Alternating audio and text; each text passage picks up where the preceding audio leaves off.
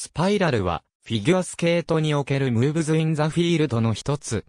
フィギュアスケートにおけるスパイラルは、フリーレッグを腰より高い位置にキープして滑ることを言う。また、スパイラルシークエンスは、スパイラルを続けて行うことを指す。スパイラルは、インサイドエッジか、アウトサイドエッジか、前向きか後ろ向きか、フリーレッグの位置が前か横か後ろかによって、ポジションが区別される。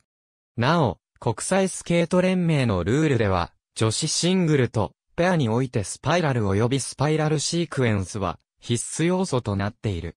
エッジを巧みに使い分け難しいポジションであればあるほど評価も高くなるが、3秒以上同じポジションをキープしなければ要素として認められない。3秒以上キープでポジションを2つか、同じポジションで6秒以上キープすれば、これをスパイラルと認定され得点を得られる。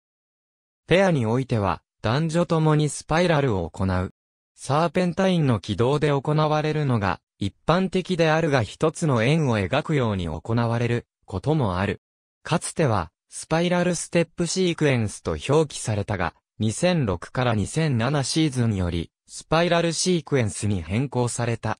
ISU ジャッジングシステムでは、スパイラルシークエンスはかつては1から4のレベルという概念が取り入れられており、レベルの数値が大きいほどが高い基礎点が与えられた。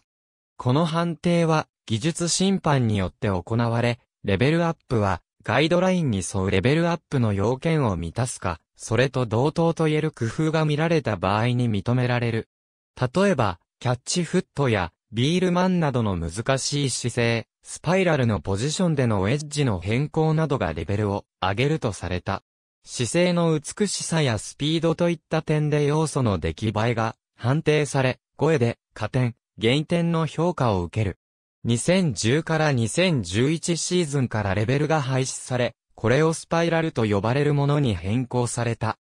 これをスパイラルは2つの異なるポジションをそれぞれ3秒以上保つか、一つのポジションで6秒以上保てば認定される。要素の出来栄えによって、声で加点、減点の評価を受ける点はそれまでと変わらないが、レベルがなくなった分、加点、減点の幅が大きくなった。2012から2013シーズンからは、これをスパイラルが廃止され、これをシークエンスと呼ばれるものに変更され、スパイラルと名の付く必須要素はフィギュアスケートからなくなった。